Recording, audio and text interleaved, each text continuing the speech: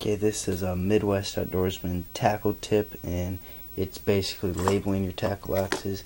And I just use these. I found um, like my mom had some left over, and she just gave them to me. They're just they're full labels, but I cut them down to size. That's full label, but I'll cut them in like three strips and just mark them. And so yeah, and I just use Sharpie, and I'll cut them and I'll stick them on. And I'll stick them on the front, this one side, and the other side. And then that's so no matter where I have them, I know what's in them if they're not on the top. And if you ever want to change it, the easiest way to get it off is you run a hair dryer on hot over it for a little while, and you take like either just a pocket knife or a paring knife, and you like pull at the edge, and it should come off smoothly because you heated up the adhesive that makes it stick and then you can like change it or leave it. And then that's my tackle tip of the day